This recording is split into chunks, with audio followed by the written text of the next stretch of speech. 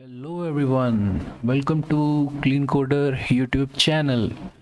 So if you haven't subscribed my channel till now, I would highly recommend you to please subscribe my channel. So today we are going to solve LeetCode problem number 142, linked list cycle part 2.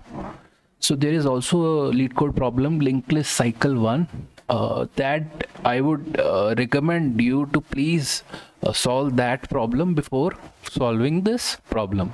Uh, I'll uh, attach the link to that tutorial somewhere here. Okay. So let's move to the LeetCode website to check the problem statement for this problem. So it tells uh, given a linked list return the node where the cycle begins okay? So if there is no cycle return null. So there is a cycle in a linked list. If there is some node in the list that can be reached again by continuously following the next pointer.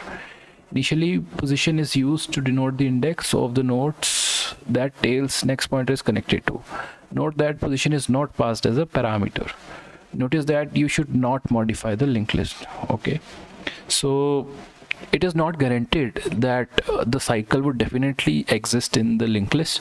So if there is a cycle we should return the starting point of the cycle right? So this is the linked list in the example one.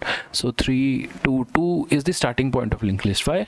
Because on entering 2 we are continuously moving in circle like 2 0 negative 4 and then again 2 0 negative 4 so on and so forth. And we are supposed to return this uh, entry point of the circle right? 2 so a reference to this node is expected in the return statement. Uh, this position is not used much uh, like in the internal code uh, which where LeetCode verifies your solution they are using it internally. I don't know why like they have put so much emphasis on this pos parameter. Frankly speaking it's not uh, much required in the problem statement. So this is the example two.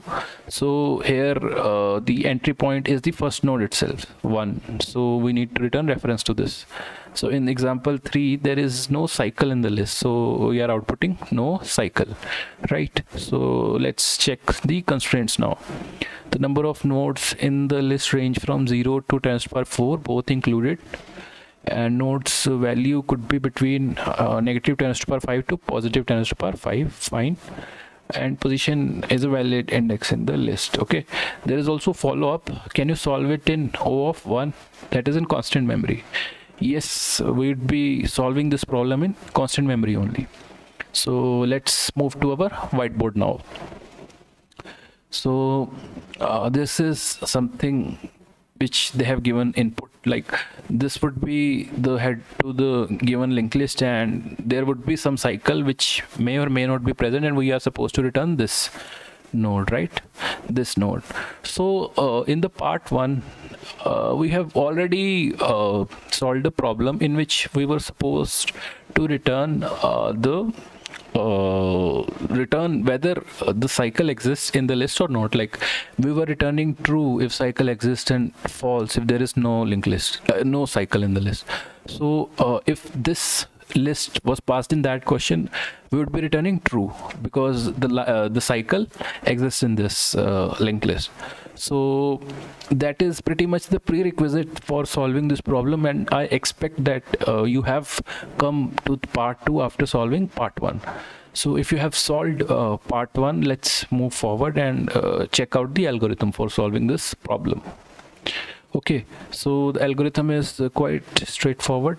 Step 1 is check whether cycle is present in the linked list or not. This coming from part 1 okay so uh, once you have checked like if cycle is not present you directly return null okay?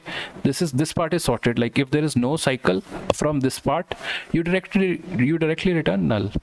Now if uh, the cycle exists you come to step 3 right? Let's check out what uh, step 3 says if cycle is present start the slow pointer from the start. Okay so and move both the slow and fast pointer at one node at a time. Okay so what it is telling is like uh, once the cycle is detected like slow pointer would become equivalent to fast pointer right? Don't worry at this moment what you suppose what you are supposed to do is you need to move the slow pointer to the head of the list right? You move slow pointer to the head of the list okay? And start moving the slow pointer and fast pointer both at the speed of one node at a time right? You move both the nodes both the pointers one node at a time. And uh, the point okay? The point where these two pointers meet okay the point where these two pointers meet is the starting point of the loop right? It would be the starting point of the loop. So this is the algorithm uh, which we are going to follow to detect the starting point of the loop in a linked list which contains cycle right so if you have understood this algorithm uh, very well and good but if you haven't uh, got a hang of it don't worry i'll be uh, showing you the code walkthrough and i'll be explaining the dry run of that algorithm in great detail. So let's uh, move to the next slide. So this is the code uh, i used to solve this problem on LeetCode platform so this is the detect cycle function. We are expected to return the reference to the uh, starting point of the loop and we are given the head of the list. So if head is null, uh, return null. This is fine. If head dot next is null, return null, right? So there is no cycle in these cases. So we are returning null. So if head dot next is head, right? There is a list like this. Okay, so this is a circular list and this is only the entry point of the list. So this I have added as a base condition so i'm directly returning the starting point of the loop which is head. So if you have uh, entered like if you have not been returned by these base conditions you'll enter here okay?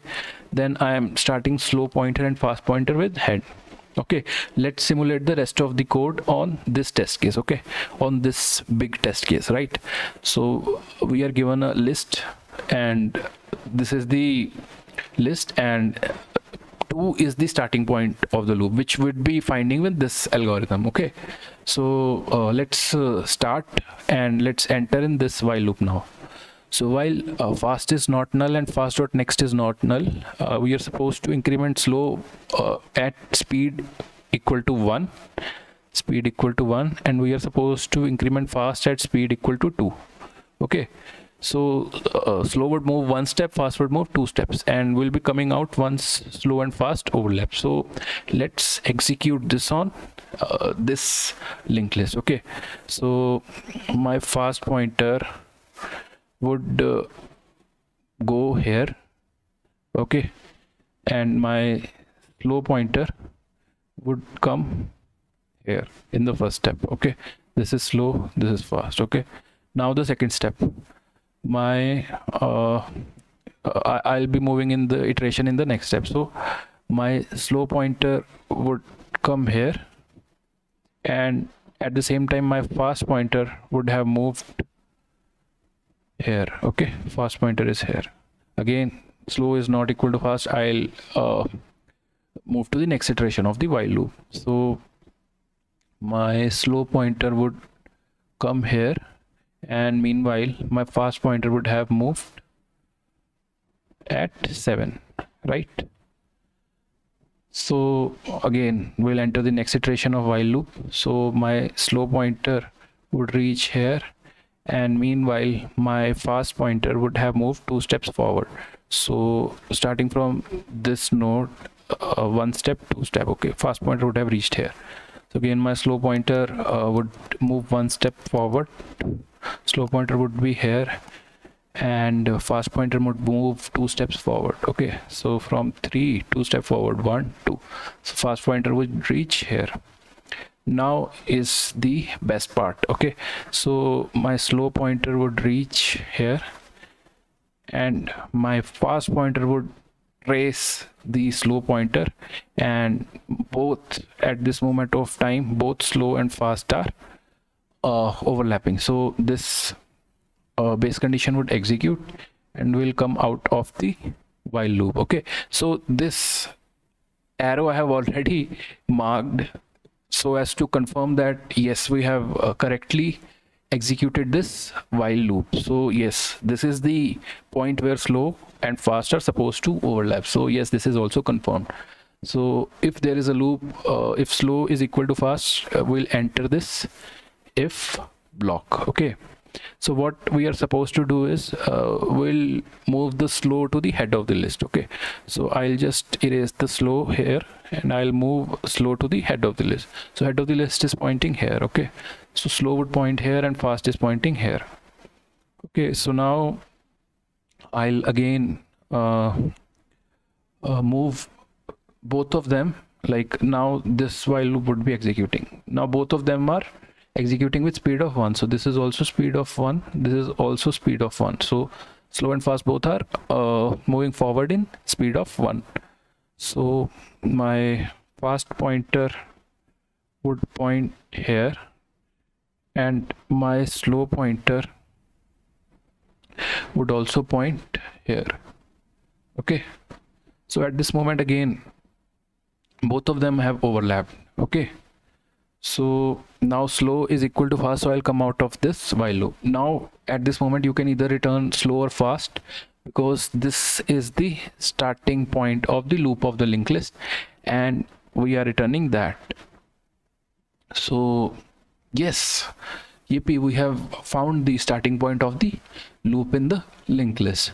So now uh, naturally there would be some concerns or doubts in your mind like why we reset the slow pointer to head and how these two are meeting while moving with the speed of one at the head of the uh, list. So clearly this this algorithm is a result of some mathematics right?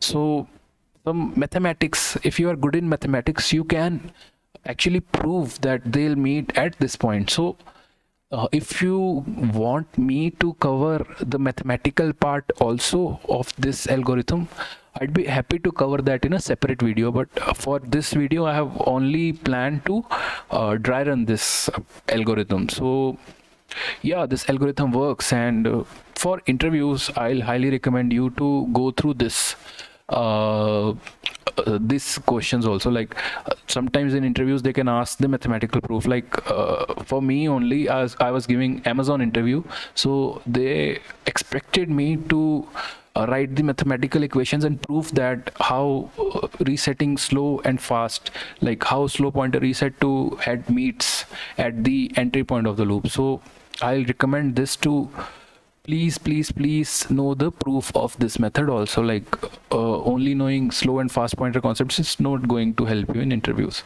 So these days uh, proofs are also asked.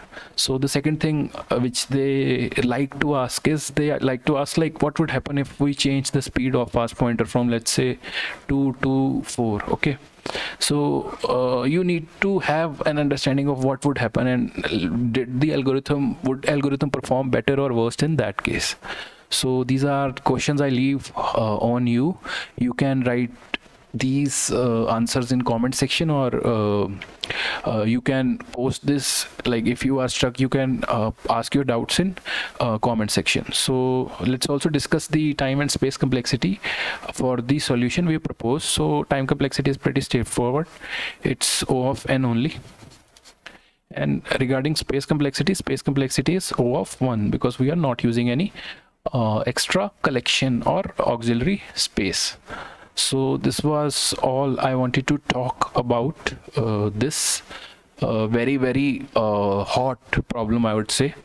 So if you liked my code walkthrough and if you liked my tutorial please please guys do subscribe to uh, clean coder.